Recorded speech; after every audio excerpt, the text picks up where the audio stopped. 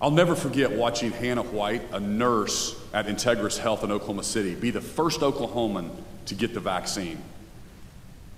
Once it was over, she hugged the nurse who gave it to her, and she said, and I quote, Hopefully, this is the start of something better. And as I speak to you today, more than 356,000 Oklahomans now have that same hope.